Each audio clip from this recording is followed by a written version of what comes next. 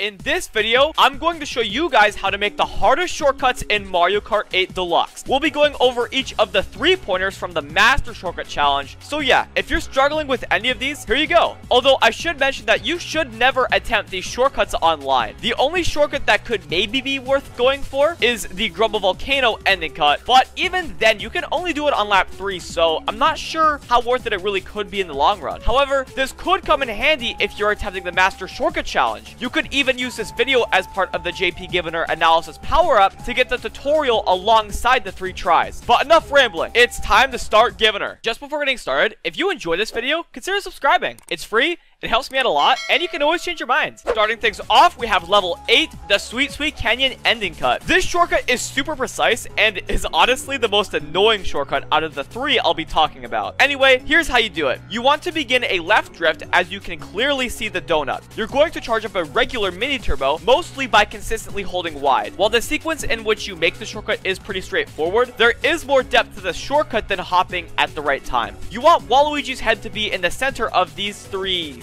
sprinkles? Smarties?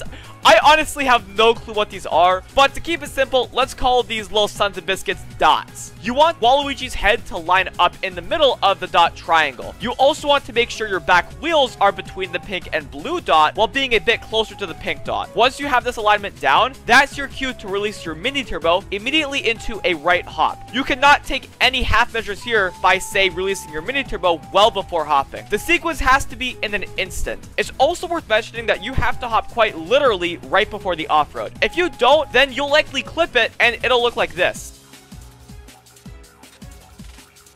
And this is what will happen if you aim too tight, with your back wheels being aligned with the dot triangle I mentioned earlier. This is a super precise shortcut that can take a lot of time to get the hang of. I used to be somewhat consistent at this, but now it takes me quite some time before making the shortcut. It's really tough, no doubt about that, but hopefully this tutorial helps you at least a little bit here.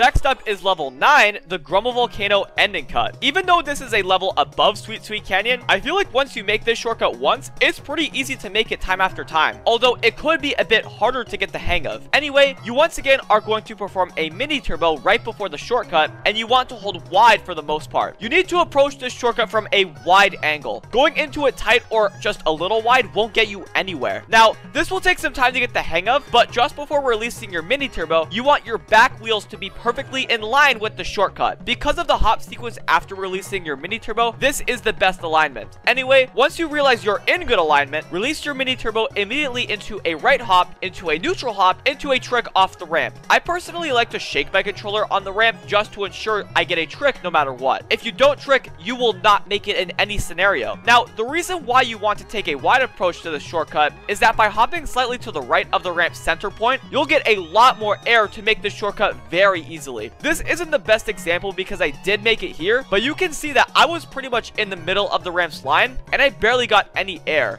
I'm surprised I even made the shortcut to begin with. And this is what happens when you approach it too tight. While you can at least trick off the ramp by approaching the shortcut this way, there's no way you'll be able to land back on the track. But anyway, this is probably the easiest of the three shortcuts, but a very difficult shortcut nonetheless. Lastly, we have the Dolphin Shoals Shroomless Glider Cut. It rightfully earns its placement on level 10, as it is the most precise and hardest shortcut in the game by a long shot. As far as I know, there are multiple approaches to this Shroomless Cut, but here is the one that you must do in the challenge. You want to release your Ultra Mini Turbo right before the ramp before the glider. I like my back wheels to be in line with the right arrow, then trick in between the two arrows. As you land, you want to begin a right drift immediately. Hold a tight drift until you approach the glider ramp, in which you want to to perform a left trick. To have the best chance at making this, you want to mash your trick button as you go off the glider to get as low of a glider as possible. Think of it as forcing a low glider without releasing a mini turbo off the glider. Anyway, you want to slightly hold left pretty much the whole way through. As for your vertical stick position, you want to start by holding forward. Vectors are critical to making this shortcut, so start by holding forward and ever so slightly holding left. Right as your trick animation is about to end, maintain your left position on your stick, but then hold back. This should give you a solid vector sector, but you are not finished yet. There will come multiple times where you'll be as close as you can get to landing back on the track. The first time you come in contact with the tip of the track, as shown here, you want to position your stick even closer to 180 degrees vertically. While you still want to hold left to make it through, holding back is the most important thing you can do here. Once the track goes on a slight downhill, you're good to go and are free to align however you want. Do not expect to make this shortcut first try though. This is an excruciatingly hard shortcut to pull off. You'll have attempts where you're not even close, attempts where you seem like you're getting somewhere, and attempts where you just barely land back on the track. But with enough practice, you could even go on to make this shortcut in the Master Shortcut Challenge. So, good luck.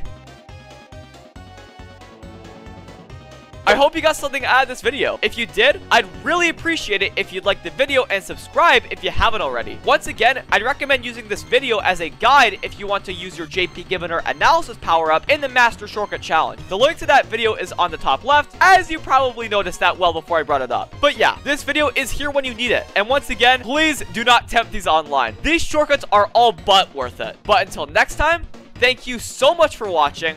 Have yourselves a fantastic day and keep on giving her, bud.